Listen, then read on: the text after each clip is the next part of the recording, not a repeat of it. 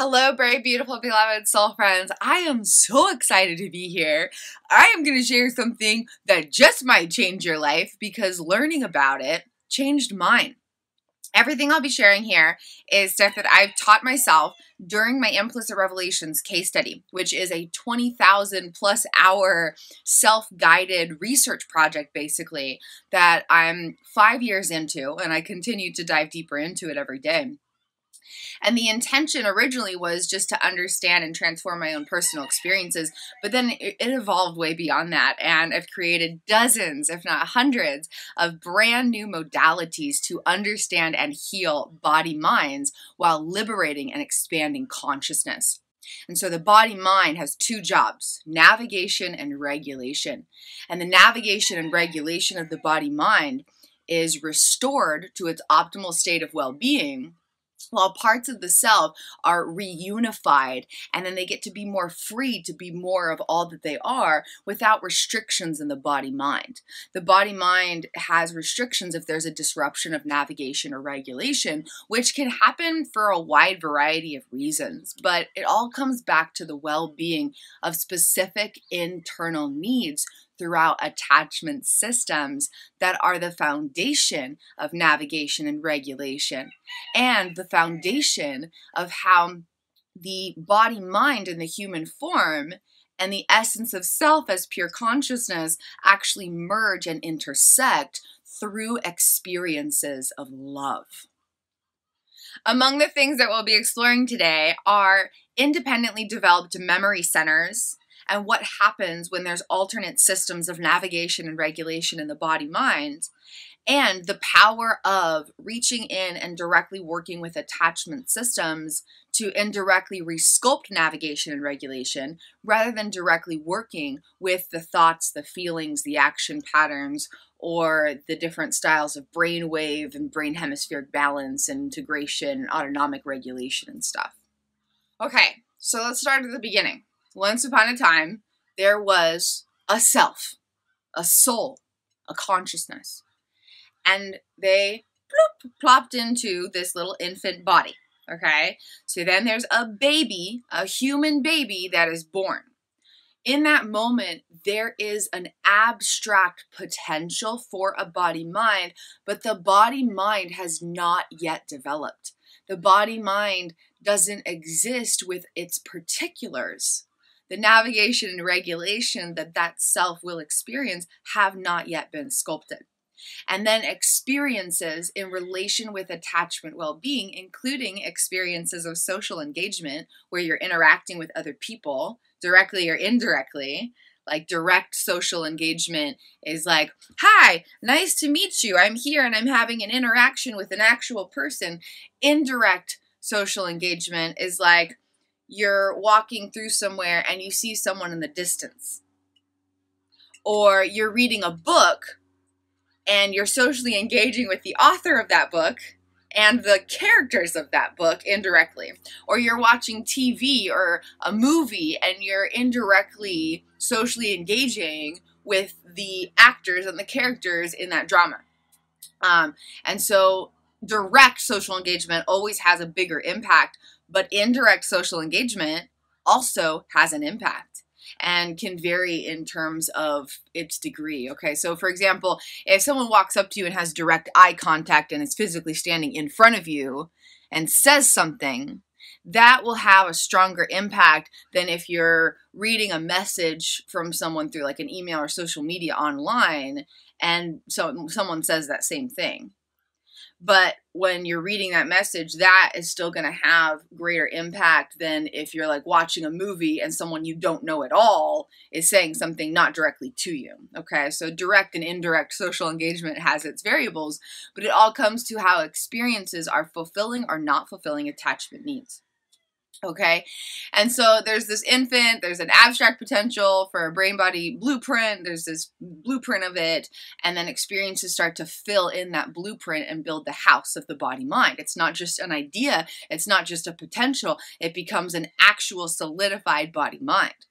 But thankfully, we can always resculpt our body mind. So, no matter how it was originally sculpted, we always have the power and opportunity to shapeshift these structures that are affecting every nanosecond of experience from the inside out. Okay, so um, let's imagine that this individual went through experiences and there were moments of unfulfilled attachment needs. And there were some moments where experiences fulfilled attachment needs in different ways. Okay. There's five key elements to understanding the organization of the body mind. And a big part of it is unconscious memories that carry patterns of feeling and movement. There's more to it, but that's like a huge part of it. and the body mind's purpose is to navigate life and regulate life. Navigation in the body mind and regulation in the body mind. Okay, body mind. Body mind, the mind of the body, which is always happening beyond awareness. Okay, when we say mind, that's not what we're talking about. The body mind isn't something you can directly perceive, which is why I love working with it because it's so fascinating. it's affecting us in every moment of every day, but we don't necessarily understand those realities. But when we do, or if we do, life can change because we understand what's happening at a deeper level and we have more power to transform what's happening at a deep, deeper level. And we have the potential to be there for ourselves in a deeper way than ever before. We have a way to show up and shift our experience from the inside out in ways that we maybe didn't have access to or awareness of the potential for before. So there's a lot of power in expanding into the understanding of these concepts. Okay, so in journeying through this example to kind of bring light to this, okay, let's say that this individual has moments of unfulfilled attachment needs and also other experiences where attachment needs are fulfilled in different ways. And to understand the effects of this, we need to look at the five key components of what's affecting the organization of the body mind that's affecting navigation, which subsequently affects regulation. Okay. We're looking primarily at navigation here. and navigation includes thoughts, feelings, action patterns, emotions, sensations, instinctive responses, verbal responses, emotional responses, somatic responses, physical responses, perceptions, perspectives, conclusions, stories, inner dialogue, approach avoidance tendencies, um, habits and movements of the body. Learned motor skills are a type of navigation. If you know how to instinctively type on a computer or ride a bicycle or cook a meal or wash a dish or unload the dishwasher or any of these muscle movements, those are all types of navigation from the body mind. Okay, so the body mind has navigation, and it's all of it. It's the thoughts, the feelings, the emotions, the sensations, approach avoidance tendencies, the habits, the movements, the instinctive responses, um, abilities to feel sensations of familiarity, uh, word associations, and instinctive styles of vernacular, right? So the regulation would be like your ability to actually like physically speak and the fluctuation of the volume and the tone, but then the style of the words that you're actually saying would be navigation, regulation, navigation. And this is all beyond awareness. The conscious mind might be using it through intention, but the conscious mind might be using it through intention, but the abilities for it are in the body mind deep beyond awareness right? And there's like, you know, the left brain hemisphere contributing to language centers and the right brain hemisphere contributing to like nonverbal cues and then like, you know, the prefrontal cortex and the frontal lobe that are allowing for awareness of the experience of it and the conscious intentionality of it rather than it being automatic and maybe jumbled. Okay, so navigation regulation affecting us in every moment, body mind stuff. Okay, to understand this though, there's five key elements that affect the organization of the navigational patterns in the body mind. Okay, navigational patterns are like, you know, there's a word association. That's one navigational pattern. There's one learned motor skill. That's a navigational pattern. There's one chronic pattern of thought or perception. That's a navigational pattern. There's one chronic pattern of emotion whether that's, you know, joy or sadness or whatever it might be, that's a navigational pattern. So there's like, you know, hundreds and thousands and millions and billions and trillions of navigational patterns in the body mind. There's there's a lot of them. there's a lot of them. Being alive is a miracle. Okay, so there's like infinite amounts of navigational patterns in the body mind. We can understand their organization and thus understand their activity beyond awareness through five key elements. The first is through explicit and implicit data conscious and unconscious data, the fact and the feeling of experience. And this includes conscious and unconscious memories and connectivity between the left and right brain hemispheres among infinite potentials. But the first key component to understand the navigational patterns of the body mind is explicit and implicit pieces of data, obvious and subtle pieces of data. The bold, blatant, obvious fact of it and the subtle implicit sensation of it. Okay, and there's more to it, but that's a summary. Explicit and implicit pieces of data. The next is that there's data from every year of life, and it was organized in relation with the activity of navigation and regulation in the body mind at that time. So the data from ages two and three are going to be organized differently from data at age seven, eight, which are organized differently than data at ages 11, 12, which are organized very differently from data throughout the rest of life. And there's different variables as well. But because the brain was still developing, and so there wasn't a lot of navigation happening automatically, and the regulation was still formulating. And the brain and the body were still in this developmental phase, and there was more right brain activity than normal, and the sense of self hadn't developed yet. And so the way that experience was processed and stored is actually going to be different in those years of life. And then if there were different patterns of navigation and regulation in later years, then that data will be stored differently as well. If, you know, at age 20, you were experiencing like a lot of good regulation and the navigation was okay and then at age like 23 there was like this big event that happened in life and you were constantly in a state of stress then those years are going to have totally different organization of data because the body mind was navigating and regulating existence differently and affecting how experience was being stored and processed processed and stored. Okay? And so there's data from every year of life and the experiences are what create the content of that data. But then there's the question of is that information connected? Okay. And that's like a whole other thing. Okay. So we don't necessarily know if that data is connected between each of those years. But every year had experience that created content, information, including unconscious memories and navigational patterns in the body mind and it may or may not be connected with each other year of information that was gathered.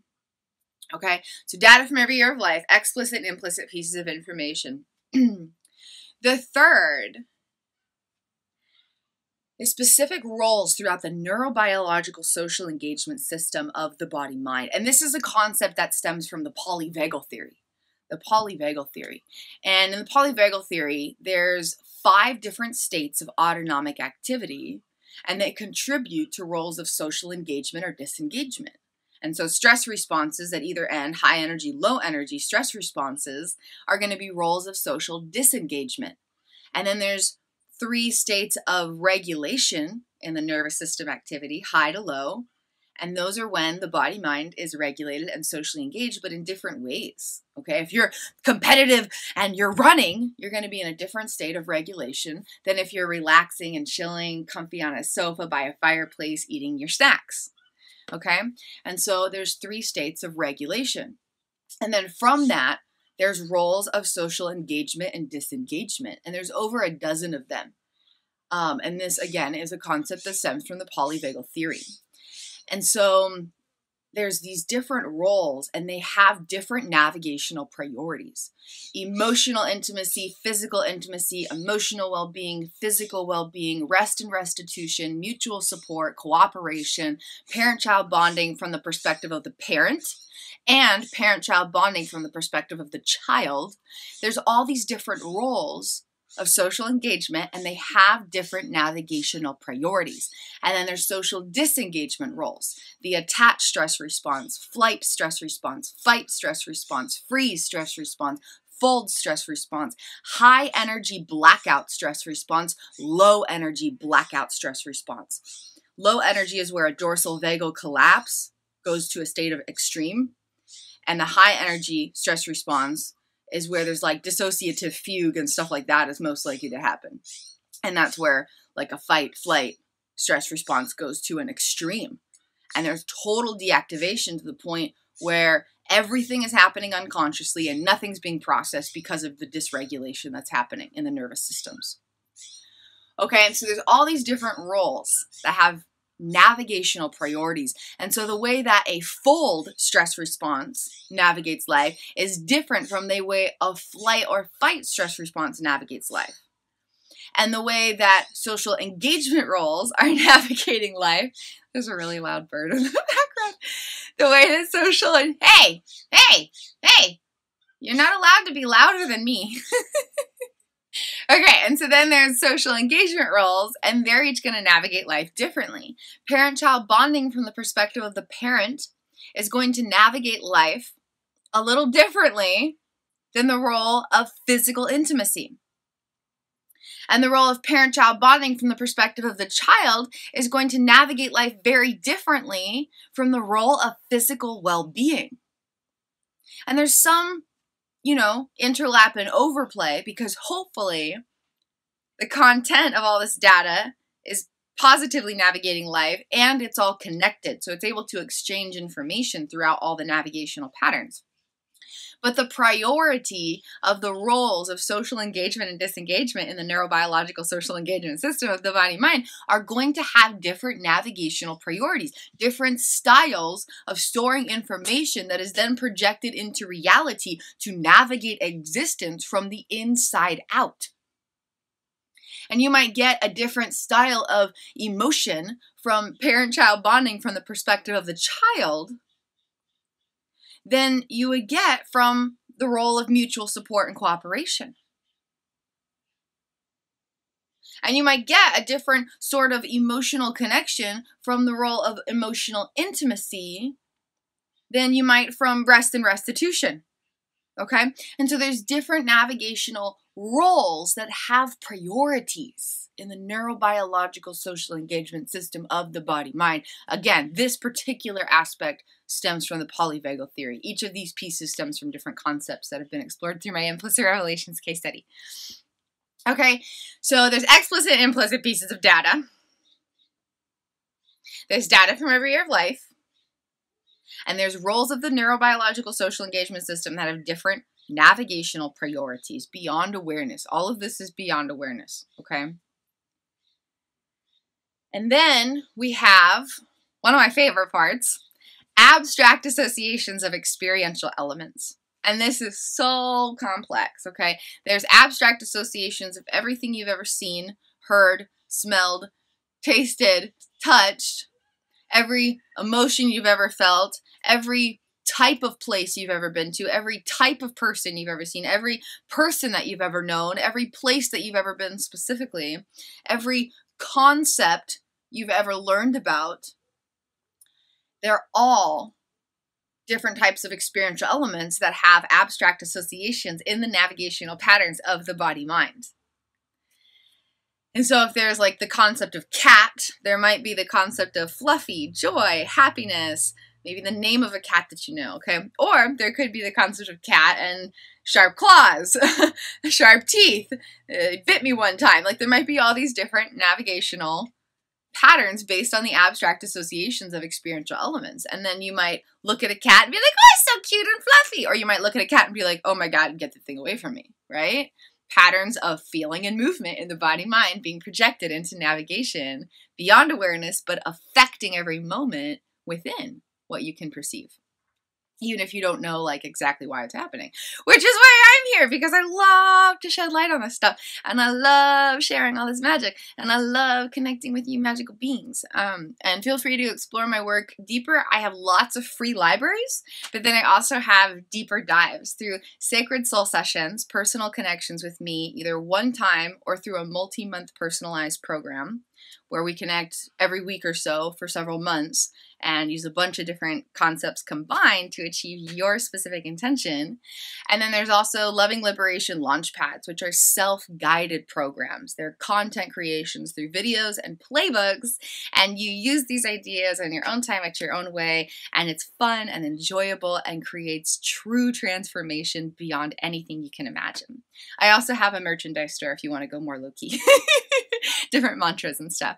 Um, but feel free to dive deeper into my work because I really do love sharing this. And the value of it is beyond anything you can imagine because when you can understand and transform these realities and and restore the body mind well-being and reunify with all parts of you that you didn't even know you weren't unified with everything in life can get better and more beautiful and wondrous and implicit health challenges can resolve and relationships can be more deep and you can be more connected with all of you and sensory processing becomes more heavenly and paradisal and you can be more connected with all of you to go after those dreams and ambitions you might have. There's just so much benefit to investing in yourself in this way to restore the body mind, to reunify with your parts of the self, to liberate and expand the essence of your true beingness, and to uplift the navigation and regulation of the body mind so that it can be this miraculous vessel of light that it is intended to be. Okay, so explicit implicit pieces of data. Data from every year of life, roles of the neurobiological social engagement system with distinct navigational priorities, abstract associations of experiential elements every type of element of experience tractors, shirts, clothes, um, lights, cats, dogs, the sound of crickets, trees, like literally anything and everything that could ever exist, real or imagined. Any concept, anything you can see, smell, taste, touch, sense, uh, emotions, concepts, learned things, abstract word associations, has created data of these experiential elements through abstract associations within the navigational patterns of the body mind. The fifth and final element that we explore to understand this stuff is how the self associates with the self, and thus how the body mind associates with all components of reality. And this is something that has especially come up in my marathon. So this particular concept was something that developed through the implicit revelations case study. I think it's thesis number 30 or something. uh, when I was still sharing implicit revelations by numbers, and then I and then I stopped doing that. I just share implicit revelations without numbers. But when I was still doing the numbers, I think it was number 30. Um, how the body mind associates with all components of reality is first determined by how it is associating with itself through the navigational structures of the body mind. So, if you want to shift the way the self is subconsciously or unconsciously associating with something outside of it, you have to first shift how it is associating with its own self inside of its own body mind. Okay? As the body mind assists consciousness in interpreting and projecting into reality.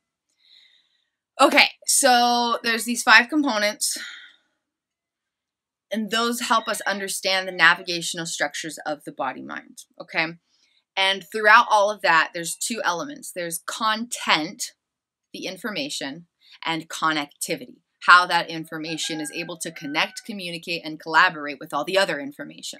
Okay, so, how explicit and implicit pieces of data are connecting, how data from every year of life are connecting, how data throughout all the different roles of the neurobiological social engagement system are connecting, how data throughout all the abstract associations of experiential elements are connecting, and how data throughout all the self associations and subconscious associations with other components of reality are connecting. Okay?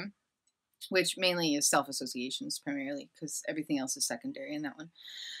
And so there's content information in all of these, and then connectivity throughout each of these five elements of the navigational structures of the body mind. Okay, now let's get into it. Okay, so there's this infant, right? Consciousness comes into the body mind and is like, "What's up? I'm brand new here. I don't I don't know nothing because like I forget my infinite self and the body mind hasn't developed yet. So what's up? Like I'm a human baby."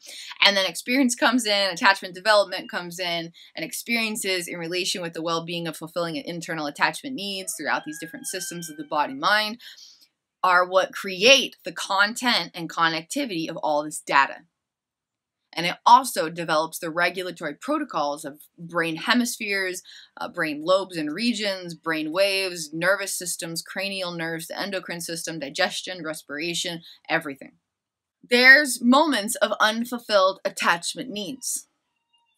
And when that happens, the content doesn't have really good navigational patterns. Not good navigational patterns when moments of experience don't have the fulfillment of attachment needs, and that data isn't connecting with all the other data.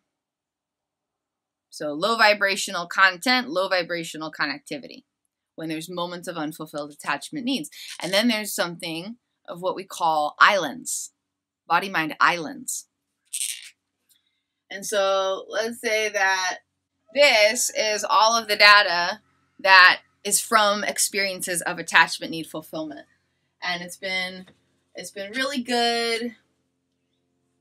And there's been lots of love lots of love lots of love. And there's really good content really good connectivity. All the content has navigational patterns that are really effective.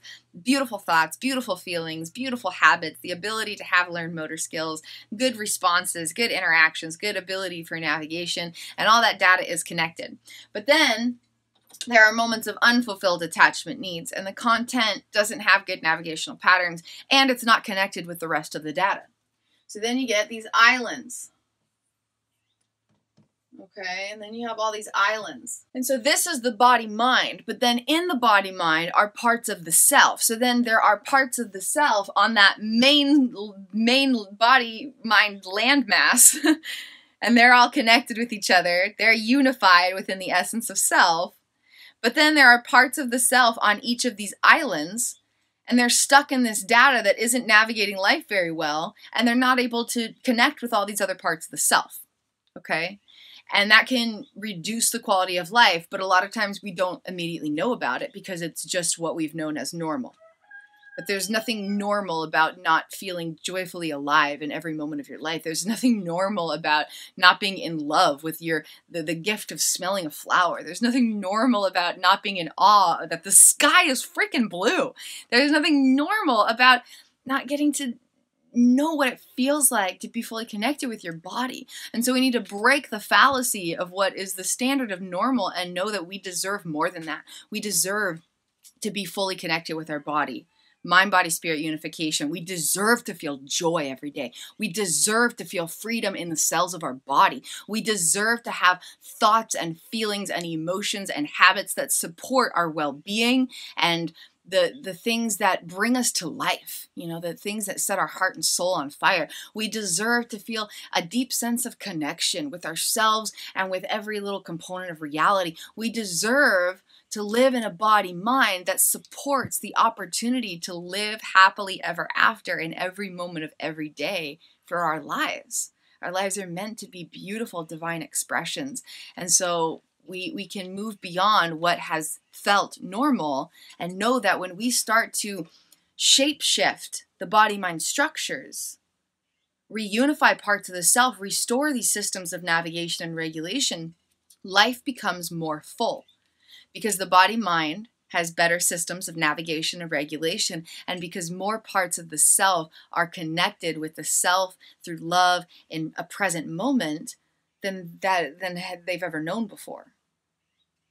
Okay, and, and it changes the quality of life. It changes the flavor of life. Even if the particulars of life don't necessarily change, or maybe not right away, the flavor of life changes because the body mind is assisting you in navigating and regulating each moment more effectively, and there's more of a self present to actually experience that. And that matters more than anything. Okay? So there's moments of unfulfilled attachment needs, and then there's islands that form. Okay? But then there's also moments that stimulate the fulfillment of attachment needs in different ways. In different ways. And so attachment needs are technically being fulfilled in those experiences, but conditionally from different sources in alternate methods. Meaning, if you think, feel, or behave or act or something, and basically the body mind is navigating and regulating life in a certain way to project reality for consciousness in this one scenario, maybe around this one group of people in a social engagement experience, then attachment needs are fulfilled. But if you engage in that exact same way in this different scenario, maybe with different people, then those attachment needs are not fulfilled. And this is a really obvious example is when you're like in ad- adolescence and like early teenagehood or so, and you know, the way that you behave or think or feel or express or navigate existence around, you know, parents and authority figures might be very different from the way you act, think, feel, uh, you know, express yourself, navigate life around peers. Okay, so that's like an obvious example. Okay, if you do certain things around authority figures, you're seen and loved and respected and embraced and supported. And if you do different sort of things around peers, then you get those feelings fulfilled, is an example. Okay, so then there's experiences that fulfill attachment needs in completely different ways, which shape shifts the navigational activity. So then you have these other land masses, and they're they're kind of they're kind of love as as, as a dotted heart.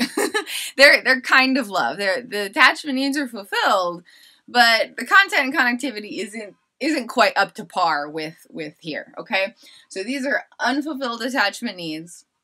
These are fulfilled attachment needs super well. These are conditionally fulfilled attachment needs in alternate ways, okay? So then there's still these different land masses, and they might navigate life okay, but it's going to be in different styles and it's going to have different information, okay? So within each of these land masses, if you will, of the body mind, which are regions of data, there's different styles of content, information, including unconscious memories, that have navigational patterns. And just like we mentioned before, navigation includes thoughts, feelings, emotions, sensations, uh, somatic sensations, um, feelings based responses, emotional responses, somatic responses, verbal responses, physical responses, uh, action pattern responses, uh, gut feelings, gut responses um, different styles of speaking and word associations, like maybe you have a phrase that you say all the time, uh, the ability to respond to your own name being said or spoken, or if you have a nickname or something, the ability to navigate responding and associating with that word or that phrase uh, that is your name or nickname. um, habits, action patterns, approach avoidance tendencies, survival responses, learned motor skills, the ability to feel sensations of familiarity. All of these are different styles of navigation, and each of them has different navigational patterns in relation with those five things we talked about explicit, implicit, data from every year of life, roles of the neurobiological social engagement system with different navigational priorities. Abstract associations of experiential elements and self associations, which thus affects how the body mind is instinctively associating with all other components of reality. And so all of that content is stored in these islands, okay? This will have really good navigational patterns. This will have less good but still functional navigational patterns. And these will have navigational patterns that aren't very functional. but then they're not connected. What happens when they're not connected? When they're activated, they'll be activated independently of one another. And then there's something really miraculous in the body mind that I discovered through the implicit revelations case study, and that is the correlation between the navigation and regulation of the body mind. And this is something that is applied, uh, was originally applied in one of the earlier thesis statements of my implicit revelations case study shared through my known documentary series, which is available in a free gift, a summary guide playbook. Um, and then now I use it in the navigation regulation correlation method. it's the navigation regulation correlation method. And I use this in a lot of different ways in a lot of different areas of my work, especially through sacred soul sessions, uh, including but not limited to the healing journey magic, where we transform an implicit health challenge through these concepts and techniques and practices. Okay, so navigation and regulation are constantly affecting each other and it always comes back to the well-being of specific internal needs of attachment systems. But when there's navigation being projected and activated it's going to affect regulation. And when there's regulation it's going to affect navigation. So if there's dysregulation already happening you're more likely to have a disruption of navigation and if everything's really regulated, but there's a disruption of navigation, you're more likely to experience dysregulation. And so there's a direct correlation between the activity of the mind of the body mind and the body of the body mind. Okay? The regulation of very unconsciousness and the navigation of kind of the subconsciousness, if you want to call it that. What can happen here is that each of these regions of data can actually connect with a totally different style of brain body regulation, which means that cranial nerve functionality, brain waves, prefrontal cortex activation, frontal lobe engagement, activity and regulation of the mohawk of self awareness, which references Dr. Bessel van der Kolk. Regulation throughout and connectivity throughout inner and outer realities, the mind and the body, the forebrain and the hindbrain.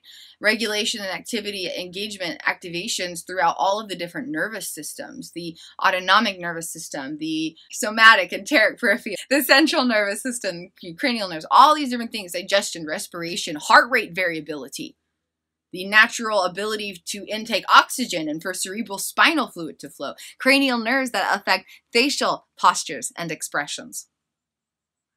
All of these different styles of regulation could actually be different when this region of the body mind is activated versus this region versus this region. Plus, the navigation is different. And so when you're here, everything might be hunky dory, everything's all regulated, everything's all being navigated, and you're like, life is good, I'm me, I know who I am, I connect, I do this, I do that. And then this comes up, and suddenly you're making choices that are different than what you're used to. And suddenly you have emotional responses that are different than you're used to. And suddenly you're listening to different kinds of music, or maybe doing your hair differently than you're used to. And you're like, what's going on? There's just these subtle changes you don't know that it's because different regions of the body mind are navigating life totally differently than what you're used to. And then some other stimulating experience comes in and activates this region of data or this region of data, and suddenly there's this massive disruption of navigation and regulation, and you don't feel like yourself anymore, and you don't know why. You don't know why. You have no idea what's going on. And the obvious thing is, well, there was this stimulating experience, so it must have been, you know, because I was around that person. And they're the reason that I don't feel like myself. But it's never actually the stimulus, it's always actually the body mind structures being activated by stimulus. And so the stimulus and the experience and the obvious things you notice are a teeny tiny clue of what's actually happening deeper within and that is my focus is exploring the 99.08% of inner realities happening beyond awareness deep in the body mind beyond what we can immediately perceive especially unconscious memories affecting navigation and regulation and these navigational patterns of the body mind flowing throughout trillions of networks and their correlation, activity, and relationship with the well being of attachment systems and specific internal needs. And that's a big focus of my work, and that is expressed through all of my offerings, including my Sacred Soul sessions and Loving Liberation launch pads. So, whether you are interested in a one time session with me, or a multi month personalized program with ongoing connection calls with me, or a self guided course creation, a short one or a long one, there's a lot of variety.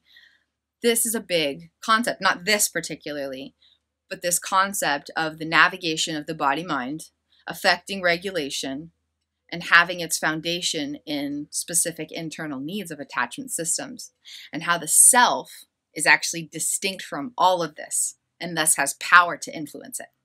So then here's the next miraculous thing. And again, all of this is stuff that I've taught myself and learned on my own through my implicit revelations case study. And it explained decades of experiences that never otherwise made sense and gave me infinite opportunity to transform it in the most beautiful way imaginable. So I'm very excited to share this with you um, because they're really, really complex concepts, but boiled down into simplicity. And they're really, really relevant concepts because They're affecting billions of people across the planet every day, but we don't necessarily understand these hidden inner realities. But if we did, life could change in some really beautiful and positive, empowering ways. Okay, so stick with me here. The next thing that happens is every time a region of data is activated, new experience is being stored in that island without connection to other islands and with a transmutation of energetic content exclusively existing within that body mind island. Because with every activation, data is being rewritten. So when data over here is activated and navigating life beyond awareness, what exists there already is being rewired automatically by the new experience Plus, the new experience is creating additional information that is then stored in that island. Okay, so there's two things happening there. The existing data is being automatically re- rewired, and the new experience is adding new information. That's the content. But then, in addition, it doesn't have connection with the other islands because it's this region of data, not the other regions. They're usually activated independently of one another. And that's the whole thing. They don't have connection. If they all had connection, then they'd all be activated together. But because they don't, the activation is like, okay, this region of data is engaged. Okay, now we're over here. Okay, now we're over here. But not all of them are contributing to experience simultaneously in the same way. Okay? And so then there's no connectivity of that experience. So if an experience happens and is stored here, then the parts of the self who are in this region of data will not know about that information. And to its most extreme degrees, there can be amnesic barriers between parts of the self and like dissociative or personality type disorders. They're not disorders, they're actually unique order of wiring in the neurobiological social engagement system of the body mind. There's profound order. There's nothing disordered about it. There's profound order. It's just a unique order. It's a disruption of the order. There's a unique organization of that data. But if an experience happens and this island is contributing to navigation, and then that new experience stores its data on this island, then this island won't have connection with that information. And these parts of the self won't know about those other parts of the self and won't necessarily know about that experience. And again, this happens to different degrees of intensity. Um, you might consciously know about the experience, but the information in the navigational patterns won't be affecting you. Okay. And that's a more subtle way. And so then, you know, if you're over here, you might consciously be aware of that island, but the navigational patterns in it are not going to be affecting these parts of the self because they're stimulated at alternate times in alternate ways. Okay, and so then the content and connectivity is growing in independency of its activations. There's more and more autonomy throughout these islands as experience contributes to them independently. And so they might start off as little islands that aren't very big and maybe aren't very far away from that main land mass okay, in this analogy. So you got like your main landmass, which is this guy right here. And then you've got these little islands, and they're really small, like like one palm tree fits on them, and that's all that there is. They're just really tiny islands, okay? There's just like, you know, there's one person on it, and it's just this tiny landmass. And there's just like one palm tree. It's so small, and it's really close to this island, so it can actually see the island totally clearly. It can wave at the people on the main landmass. But then, as experience activates these islands, including further moments of unfulfilled attachment needs contributing to the development of islands, and existing islands being activated independently to navigate moments regardless of attachment well being within them. There's more and more content in them, and less and less connectivity with the main landmass. So then it's getting bigger and it's getting farther away. It's getting bigger and it's getting farther away. And there's more and more people living on it, more and more parts of the South on this independent island. And it's so far away from that landmass, it can't see it anymore. It actually has no idea that it exists at all. It has no idea that that main landmass even exists anymore. Distant memory. But memories navigate life, so it's not even in a distant memory. okay? All right, you with me? This is like fireworks exploding with knowledge and insight, right? Okay? So it might start as a little landmass. There was just a minor moment of unfulfilled attachment needs. You just got lost in a store one time when you were a child. And then life went on and all of your attachment needs were met. It was just that one time. It was just that one thing that was said. It's just a tiny landmass, a tiny island, and it's so close to the main landmass of all the rest of your navigation that the parts of the self can see those other parts and wave. Like you're so close.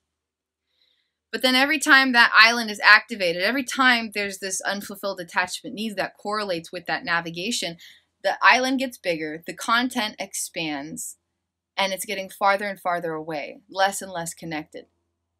To the point where it's a giant, giant island with thousands of people living on it, thousands of parts of the self, and it cannot see that main, main landmass. It has no idea that there are those other parts of the self at all.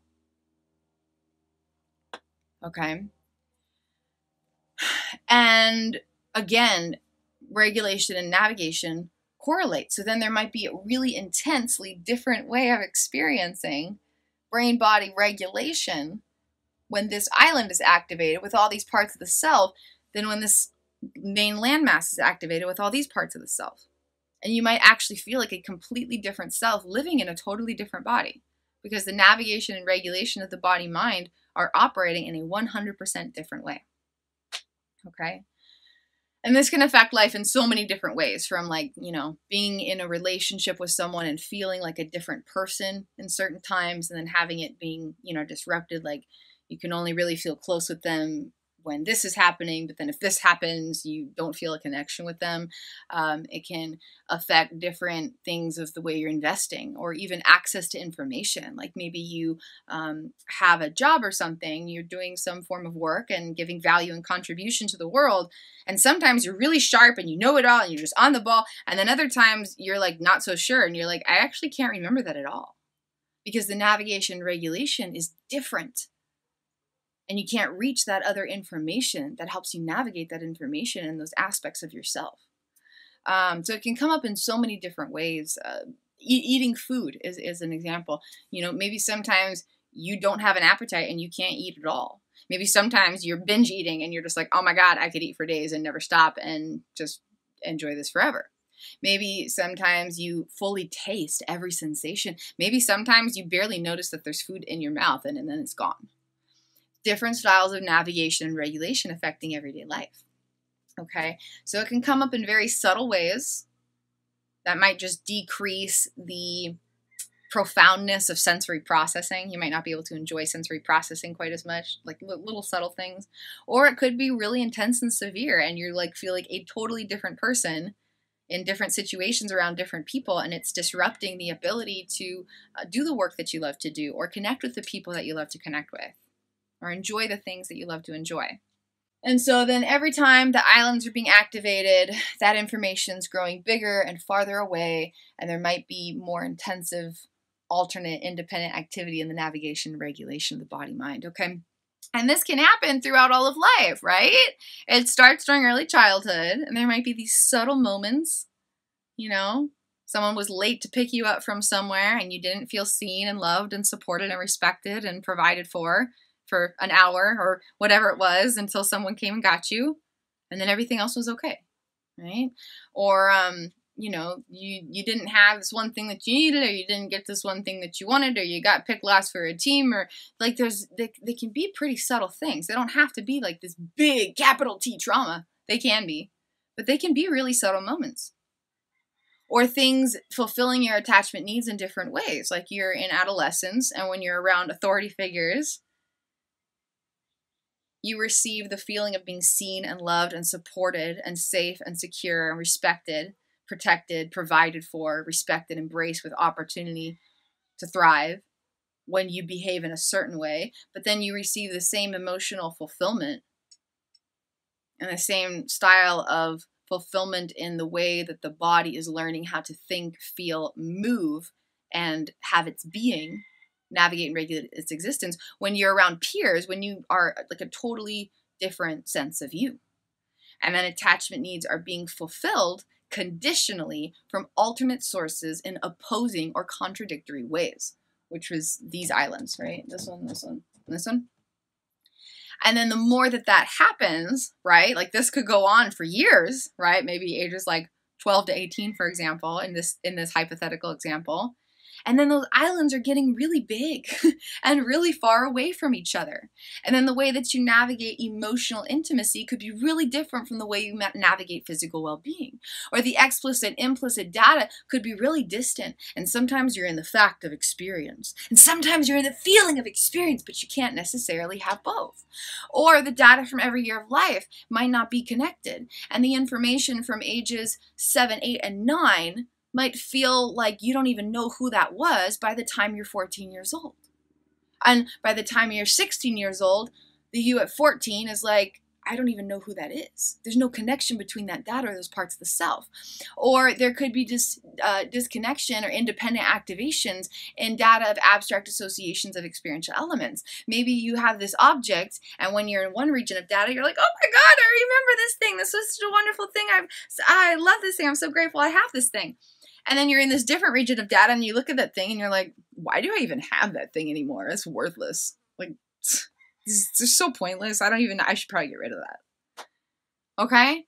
And it can be really subtle as it's beginning. But then the more that it happens, the more moments of unfulfilled attachment needs there are the more moments where experience is fulfilling attachment needs conditionally from alternate sources in contradictory ways, the more that the islands are being activated independently and now navigating life and now new experiences are contributing to that information, the more that it happens, the more those islands grow. The more islands there are, the bigger the islands are, the farther away the islands are in information in the body mind. And this is all flowing throughout trillions of networks. Right?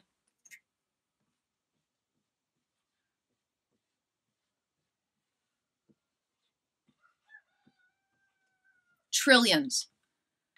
and if all those networks are connected, then it's one giant landmass. But with how many things could happen in life and with how vast and complex and infinite this are, there might be tens of thousands of islands in the body mind.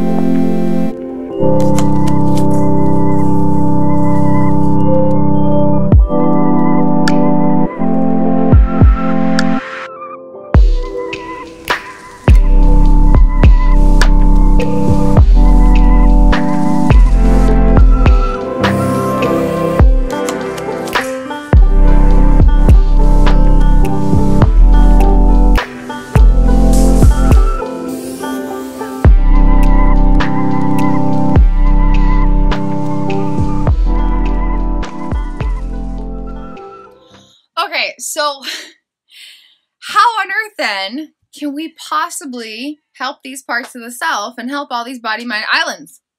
If there's tens of thousands of islands housing billions and trillions of self aspects, okay? Or even if there's like 500 islands, okay? And they're all affecting different parts of the self. How can we help improve the content and expand the connectivity throughout all these trillions of networks that have data that isn't optimal navigation because of past moments of unfulfilled attachment needs and data that's not able to effectively connect, communicate, and collaborate with all that other data, and that navigation might potentially be having totally different styles of brain body regulation or even subtle different styles of brain body regulation. A subtle example of that would be posing differently for different pictures and the way your facial muscles engage are different. And this is like a really subtle thing. So the posture would be navigation, but then the ability for regulation to support that physically would be regulation. Okay? Or different styles of speaking. Maybe sometimes you speak very soft and really quietly and maybe a little bit slow. And then other times you speak very loudly and boldly and confidently. Regulation is affecting that. Okay, so it could be really, really, really subtle. and again, this is flowing throughout trillions of networks. So there could be literally billions of independent islands, just depending on how experience has created this data. Because any moment of unfulfilled attachment needs, any moment where an experience is fulfilling needs, attachment needs in different ways, and it's conditional, it's not through unconditional love, then there can be these islands that form. And there could be a lot of little islands, or there could be like a few islands that are like really big and really far away from each other. And they're kind of equally intense because if there's a lot of small islands that are close to the main landmass, versus just a few islands, but they're really big and really far away from each other, that's still like an equal amount of information in the body mind that's not navigating and regulating life in a unified way, an equal amount of the parts of the self that aren't connected with the rest of the self. Okay? So, when something like this happens, which is like most of the human experience at this point in our evolution, one day it won't be, and one day there will just be unconditional love and attachment need fulfillment and self unity, and that's just the way normalcy will be. But at this point in our human evolution, this is pretty normal. Having different islands in the body mind is pretty normal. Having moments where you're not seen and loved at some point in your life is pretty normal. Having moments where you don't feel totally respected and embraced for who you really are is normal. It's just it sometimes it just happens in life. And sometimes it just happens in life. And then if it becomes normal, then it happens more because it's normal. And the body mind is navigating, regulating life in relation with that. Okay. So if this happens, which again is like, you know, happening on planet Earth, a really big planet for like millions and billions of people every day, unfortunately. but one day we'll evolve beyond that and just be only unconditional love. When this happens, what on earth do we do? How do we improve the content and expand the connectivity? How do we help reunify these parts of the self? How do we help all these different islands connect with each other and have information that has the best type of navigation so that the self can experience its own unconditional love? How do we do that? Okay.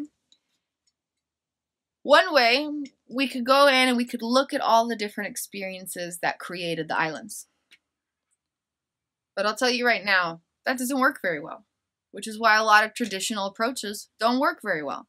If you're looking at past experiences,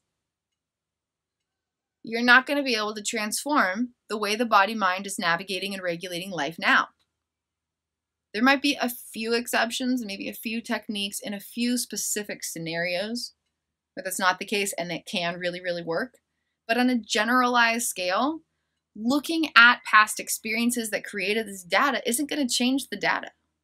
Okay? Most techniques that look at the past and how it already exists in the body mind isn't going to transform it, transmute it, shapeshift it. If anything, it's just going to grow that data even more.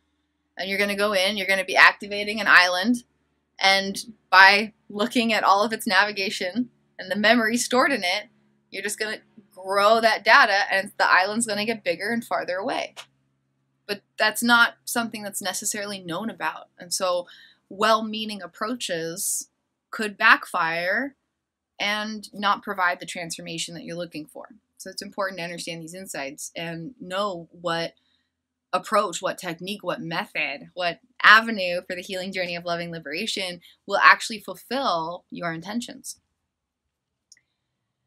Okay, so that's one way you could go about it. Another way you could go about it is you could look at the navigational patterns in the body mind. And this is a step closer in the right direction because then you're looking inward at presently existing data rather than outward at past experiences. You see the shift? If you look at the navigational patterns of the body mind, you're turning inward to presently existing information in the body mind rather than looking outward at experiences that aren't happening anymore. So that is a step in the right direction. But if there's 500 islands, or 500,000 islands, or 5 million islands, or 500 million islands, or 5 billion islands, which is something I have a lot of experience with because that's how many islands were in my body mind a few years ago. So I have a lot of experience with these independent activations in the body mind.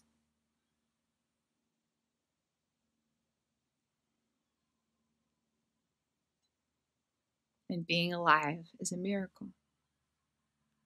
If you have 5 billion independent islands in the body mind, it's 5 billion regions of data of parts of the self that aren't connected with each other and are understanding interpretations of reality in totally different ways. And that can make life really challenging and really reduce the quality of life. And so we want to be able to help these parts of the self. We want to be able to be there for these parts of the self. We want to be able to upgrade these systems. We want to improve the content and expand the connectivity in an effective and enjoyable way. Looking at the navigational patterns is especially helpful when you're trying to shapeshift specific regions of navigational patterns. For example, if there is an implicit health challenge, anxiety, depression, eating disorders, insomnia, night terrors, complex post traumatic stress disorder, structural dissociation, borderline personality disorder, dissociative disorders, obsessive compulsions, anything, intermittent explosive disorder, trichotillomania, dermatillomania. There's any type of implicit health challenge, one that is described in an explicit way or one that's not, and there's just a chronic pattern of thinking that you want to change, or a chronic pattern of feeling and emotion that you want to shift, or a chronic pattern of dysregulation or disruption of navigation, or unique or alternate navigation where you have disruptions in relational connections because you feel like a different person around different sorts of people or around one person at different times. Okay any type of implicit health challenge or a disruption of implicit health, a disruption of navigation and or regulation, and you want to really hone in on a specific region of energetic data, a specific region of information in these navigational patterns and pinpoint it to shapeshift it, transmute it and resculpt it, then it's helpful to look at individual regions of navigational patterns without looking at everything happening in the entire body mind. Okay. And so instead of looking at memories or past experiences that created the data that's existing now as navigational structures in the body mind, we actually look at the patterns of navigation existing right here, right now, and the patterns that they carry. And this includes looking at unconscious memories and the five elements of these navigational patterns in the body mind that we mentioned explicit, implicit, uh, data from every year of life, roles of the neurobiological social engagement system with distinct navigational priorities, abstract associations of experiential elements, and self associations, and the content and connectivity within and throughout all these five different elements. Okay, so we can look at very specific regions of navigational patterns. But what if there's islands in terms of like hundreds or hundreds of thousands or millions or billions. Okay? If there's trillions of complex networks, and any moment of not feeling seen and loved, any moment of not feeling celebrated, any moment of not feeling totally safe and secure, any moment of not feeling protected and provided for, any moment of not feeling connected and supported, any moment of not feeling totally vulnerable and close and connected and like there's collaboration and this like sense of support and vulnerability and closeness any moment of not feeling respected, any moment of not feeling embraced for who you are, any moment where you don't have directional guidance and you're just like, oh my God, like what's going on? What do I do? What's my next move? Like, I, I have no idea what's happening. Any moment where you don't have a sense of opportunity, where there's not a space to just like be yourself or, or do what you feel like you need to do or want to do. Okay. Any moment like this throughout any period of life and especially if it happens during early childhood, especially if it happens chronically, especially if it happens severely, okay? But any moment like that can create an island. And then the more that that happens, the more islands there are, and the more intense it is, or the more chronically those are activated, then the bigger the island gets and the farther the island is away from that main landmass of navigational structures in the body mind and parts of the self. Okay. So um, let's say there's like 100 to like 100 billion different islands in the body mind. And I'm speaking from extensive personal experience. The reason I'm so passionate about these topics is because very unique experiences led to there being literally hundreds of thousands and millions of independent islands in my body mind. And so then it's like, okay, well, how do you reconstruct all of them simultaneously in an effective way that you can enjoy enough that you want to show up for the work that requires to actually achieve what you're trying to achieve? And resculpt the content and connectivity of all of the trillions of energetic pathways in the body mind. How could you do that? How is that possible? Is it possible? Is there a way to do that? Okay. Yes. And that is one of the things I'm most passionate about.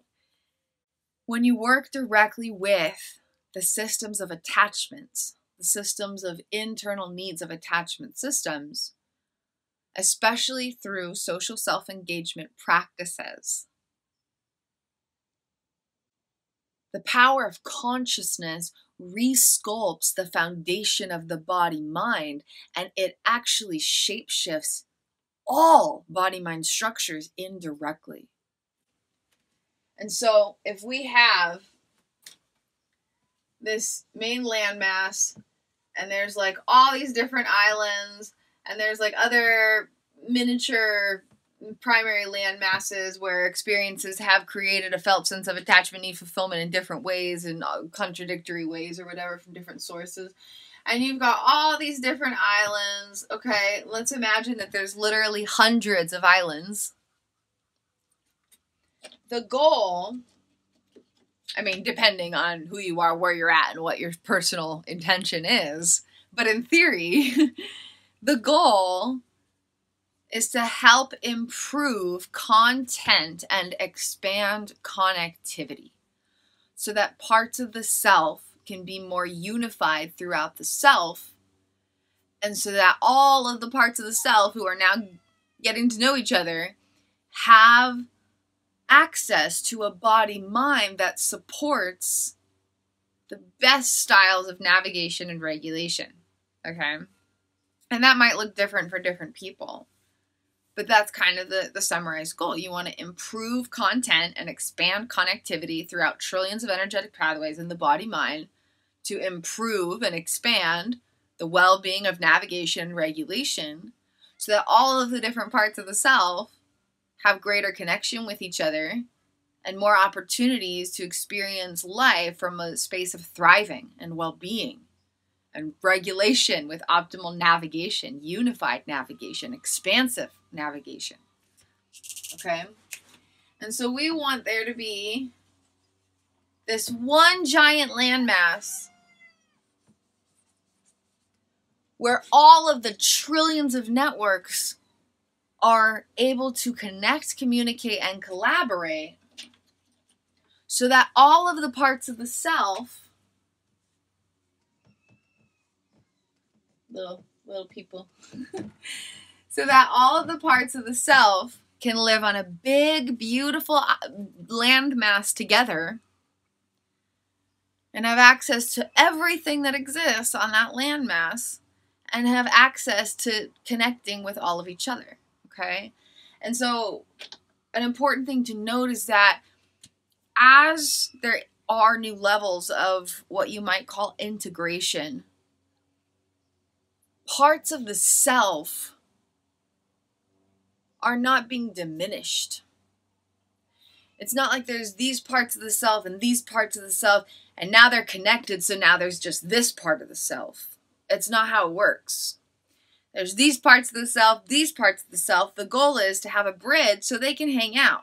But all the parts of the self, they still all exist. And all the regions of the body mind, they still all exist. We're just trying to improve the content and expand the connectivity, okay? So let's say in this body mind, most of these islands are like desert and barren, and there's no plants, there's no animals, there's no food, there's no clean water. And so the people on them are like, this sucks. I'm alone on an island. There's nothing to do. There's nothing to enjoy, and my needs aren't being met. I don't have, I, I don't have these fancy palm trees, and I don't get to go play with wild deer, and like I, I don't get to know other people because I'm here by myself on this barren, barren, tiny island. Okay, but once you improve and expand the content and connectivity then the island is thriving and there's all these different plants and there's all these different animals and there's all these waterfalls and there's all these beautiful mountains and there's all these fun things to see and to do. And then all the parts of the self are there. So then there's like trillions of other self aspects get to like run around and play with. Okay? And this is in the body mind beyond awareness. These are the structures beyond awareness. Okay? And so all of the regions of the body mind still exist. There's still the equal amount of land masses an equal amount of land. But now they're not independent from each other. They still have distinction, but they now have connection also. And with improved content, then the islands aren't barren anymore. Then we plant seeds and there's beautiful palm trees and beautiful flowers. And, and you know, as the islands start to have bridges with each other, then these beautiful mountains and waterfalls form and all kinds of cool stuff happens. And then all the people on the island get to meet all the other people on the islands. And they're not alone from each other. They're not isolated. They're not independent from each other. They're not separate from each other anymore. Okay, but this is what's happening beyond awareness. So when you're in a process of integration or having reunifications or homecomings between self aspects and, and reconnecting these structures in the body mind, it's not like there's this part of the self and this part of the self, or this part of the body mind, this part of the body mind, and now they're connected and you change the information in it. So now there's just like this thing, and, and none of that exists anymore. Okay. Parts of the self get to meet each other and have new ways of connecting. Okay. If they are parts of the body mind that you're actually trying to shapeshift, then you might have this structure, this structure, and they actually become something totally different. But that is not the self. Okay. Body mind might shapeshift, it might change, it might totally be refurbished. But the parts of the self are always still the parts of the self how they experience themselves in life might change because the structures they're flowing through might change. Okay, so anyway, so if you're trying to look at just like, I have this one island that's disrupting navigation, I want to work directly with that island. I want to see what navigational patterns are there and I want to transmute, shapeshift, and resculpt that. Then you can focus on looking at navigational patterns, especially unconscious memories in relation with attachment well being that carry patterns of feeling and movement deep in the body mind. But if there's a bunch of different islands and maybe they're causing implicit health challenges and disrupting navigation and regulation, or maybe you just want a fresh lease on life and you want to experience life with improved navigation and regulation, even if there's not like major disruptions. Then you want to resculpt all of them simultaneously. But in order to do that, you can't look at them directly because if you're looking at a thousand different islands, how do you actually work with all that information simultaneously? As soon as you look at one, then you're looking over at another and you're no longer looking at that one. So, how do you resculpt them all simultaneously? And so, when we work with social self engagement practices or different styles of directly focusing on the attachment systems at the foundation of the body mind, the foundation of which all of this is built, it's kind of like going deeper into the foundation of all of this stuff and be like, okay, how is how are these islands actually like sitting in the water? How are these islands actually sitting in the water? And what's affecting them? You know, are there underwater earthquakes that are shaking the stuff and causing the land masses to move away from this other landmass? Are there things happening that are that are break, you know, breaking off the pieces of land and, and the islands getting smaller? Are there things that are happening to make the island get bigger and farther away? What's actually happening deeper in the land masses that are sitting in the water under the surface beyond what you obviously see. It's kind of like that, but with the body mind. Or if it's like a house, instead of just looking at, you know, the crack in the baseboard, you go to the foundation and realize that crack in the baseboard is because the foundation of the house was shifting and only showing up in something obvious, but the actual cause was much deeper. So if we go deeper than just the navigational patterns, if we go deeper than just the surface clues, if we go deeper than the past experiences that have created it, then we can actually work with the foundational structures of the body mind. And when we work with attachment systems, all of this data throughout trillions of networks, all of the explicit implicit data, all all of the data from each year of life all of the data throughout the neurobiological social engagement system with a bunch of different roles that have different navigational priorities beyond awareness. All of the abstract associations of every experiential element in existence, real or imagined, all the different self associations from every period of life that are now affecting present moment realities and how the self associates with all components of reality based on self associations in the body mind. The content and connectivity of all of that flowing throughout trillions of energetic pathways are simultaneously resculpted.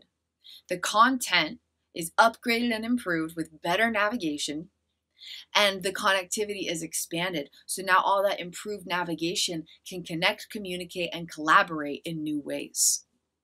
And among the infinite potentials, this is where you might get the opportunity to have the ability to connect ideas in new ways.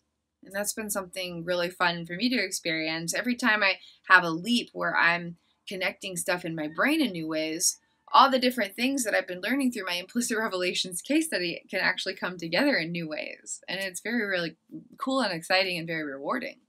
And so, in the process of upgrading the navigation and regulation of the body mind, improving and expanding the content and connectivity throughout these trillions of energetic pathways, then implicit health challenges can achieve complete resolution, even if there's like a hundred different simultaneous health challenges. If they are all stemming from some form of disrupted navigation regulation, they can all be healed simultaneously, effectively, and enjoyably without directly working with the implicit health challenge that is directly observable. All the implicit health challenges can achieve total absolute resolution with these techniques and approaches and concepts. And self aspects are able to have greater sense of unity, connection, loving liberation, divine expansion, fuller expression. And that is a beautiful, beautiful, beautiful, beautiful journey. No matter what your experience is with implicit health or anything like that, that's a beautiful journey to be on no matter what. And then there's this expanded potential of the body mind to navigate and regulate its own existence in new ways. And that really paves the way to open the doors for personal evolution, personal growth, personal development, awakening, ascension, embodiment, expansion, learning new things, being a fuller expression of all of you, expanding into higher potentials and bigger dreams, whatever it might be, whatever it might be having more fulfilling relationships, whatever your focus is right now. Okay, so it, resolving implicit health challenges, having deeper unity and connection with all parts of the self, and expanding into fuller potentials of various aspects of personal experience from the inside out. So, there's a lot of reasons that this can really be a game changer along any healing journey of loving liberation through life. Okay, so to bring it all together, any moment of unfulfilled attachment needs, or any moment where attachment needs are fulfilled from alternate sources in contradictory ways, can cause islands to develop. And every time those islands are activated, then that data is navigating life and its existing data is being resculpted and the new experience is adding to that island. And the more that it's independently activated beyond awareness, the bigger the island gets and the farther away it gets from the primary land masses that are navigating life with greater connection with more parts of the self. And then there could be a few islands that are pretty big and pretty far away from each other, or there could be like hundreds of pretty small islands that are in closer distance, or anything in between. But at this point in our evolution, a lot of people are experiencing these body mind islands, but they don't necessarily know about it because a lot of times it doesn't present itself in obvious ways. And even if it did, you might not understand what's actually happening or what to do about it. Sometimes it's really obvious and it's like this major implicit health disruption. Sometimes, most of the time, it's a lot more subtle and it might be reducing the quality of life, but in ways that don't seem significant enough to put your full attention to, maybe. Okay, and then there's parts of the self who are on the island experiencing all of that, and the goal is to improve and expand content and connectivity so parts of the self can have greater connection and a fuller experience of life. In terms of applying these concepts to positively benefit personal experience from the inside out, you can A, look directly at specific navigational patterns, especially if you're wanting to transform a very specific disruption of implicit health you can B, work with attachment systems in direct relation with navigational patterns, which could look like assessing the navigational patterns and seeing which system of internal attachment needs they're most affiliated with, and then sculpting new unconscious memories in relation with those particular attachment needs to influence those navigational patterns. Okay, so it's kind of the bridge between the specific navigational patterns and just abstract uh, attachment systems. Or three, you can work exclusively with attachment systems without looking at the navigational structures at all and build a brand new foundation of the whole body mind and work with all of the systems of navigation simultaneously without looking directly at their specific information. And my modalities, practices, techniques, methods, concepts, journeys, everything work with these three intentions and fulfill them effortlessly and enjoyably, effectively and efficiently. So you kind of get to just like kick back and like enjoy the journey and like enjoy these conversations and explore the concepts and then have these simple, fun, easy practices to apply. And it gets the job done more efficiently and effectively, working deep, deep, deep, deep, deep in these structures of the body mind beyond awareness than you could ever imagine. And you get to enjoy the journey and you get to enjoy every step of the journey, not just when you reach the destination of resolving that implicit health challenge or resculpting your entire body mind from the ground up. Every step of the journey is rewarding and fulfilling as you are investing in those intentions. And so, three different methods, okay? Working with navigational structures and attachment systems in different layers of specificity and generality to achieve different uh, directives or intentions, objectives. Okay, you can work directly with navigational patterns. You can work with specific attachment systems in correlation with the navigational patterns, or you can work with all attachment systems to influence all the navigational patterns without looking at them okay? And the goal is to improve and expand content and connectivity to improve the quality and connection for parts of the self beyond awareness, knowing that approximately 99.08% of inner realities exist and operate beyond direct perception and immediate awareness. Please feel free to explore my other libraries of work. I have lots of free video libraries and free gifts, my Implicit Revelations case study, a wide collection of free gifts, downloads, miniature playbooks, all kinds of magic. Um, and then I also have introductory playbooks. So these are also free and they are to share the offerings of my monetized gifts but the introductory playbooks alone have a lot of insight. So even if you don't choose to invest in that deeper dive with my work, you can still explore those free introductory playbooks and gain a lot of insight and maybe use some of that introspection on your journey. And then if you do want to dive deeper, I have one time sacred soul sessions with lots of different potential focal points, uh, whether you want to work with attachment systems or resolving an implicit health challenge or understanding implicit health better, or you want to work directly with the inner child, uh, directly or indirectly through energies of consciousness, and flowing through specific body mind structures, um, or specifically with aspects from childhood. Um, well, you can do treasure trove tete-a-tetes, exploring the experience and expression of divine consciousness flowing through the body mind through the liberated consciousness diagram and its treasure mapping potentials. There's treasure mapping for your body mind. Um, there's also treasure mapping for your body mind and the body mind of a loved one to see how your body minds are affecting communication and interactions with each other. Um, there's marathons. There's all kinds of amazing stuff through one time sacred soul sessions. There's also multi month personalized programs at three different levels of the depth of which you're diving into. The first one is to resolve an implicit health challenge. The second one is for liberating, expanding consciousness. You're really diving deep into understanding all of your experiences and transforming them from the inside out, not to change something, but to expand everything. And then there's marathons at the most complex layer and level through my original subconscious unveiling and transformation techniques. And then if you want to dive into any of these ideas through a a self guided journey that can also be a lifelong reference book. And I, I mean that from the bottom of my heart because it's been half a decade and I still use these playbooks as, you know, I'm constantly referring back to them, constantly, you know, learning and applying these stuff in deeper ways. So they can really be this lifelong reference book, uh, even once you move through the self guided journey aspect of it.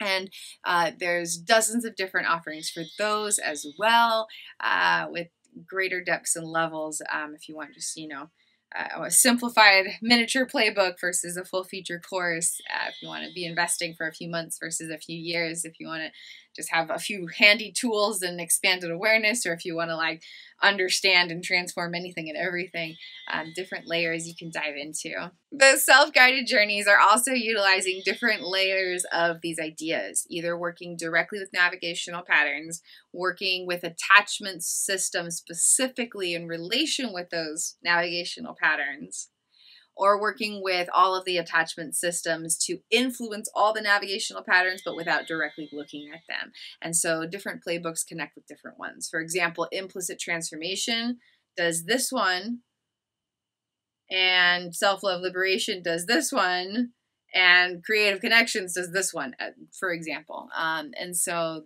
those three different things are ways that we can apply these insights. And just having awareness of how experience is affecting us beyond what we directly perceive is really important.